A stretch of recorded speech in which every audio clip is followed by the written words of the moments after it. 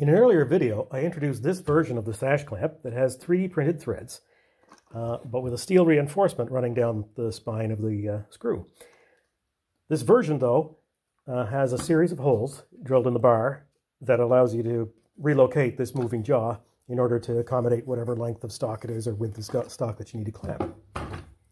This version is based on one that I saw in a video by Wood by Wright. I'll link that video down in the description. It allows for an infinitely adjustable moving jaw.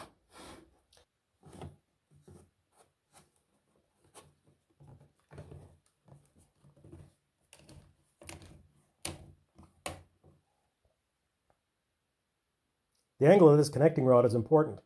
There's a bit of sandpaper stuck to the bottom of this foot, and when the clamping pressure comes on, this grips just enough to cause this to cant over and bind on the beam. And you can apply a tremendous force with the screw, and this won't move. But when you release the pressure, this can just pop and release, and you can reposition it however you want. A good idea I haven't done yet is to add some lock nuts on these bolts that hold the assembly together. The sliding jaw assembly is put together in uh, multiple pieces. Um, this had to be printed in this orientation for optimal strength, where the bolt is bearing on that. Um, but I wanted to have a slightly wider clamping surface. So what I did is I put a tapered dovetail that is an interference fit, so you can just push this pad in place and it binds and locks down.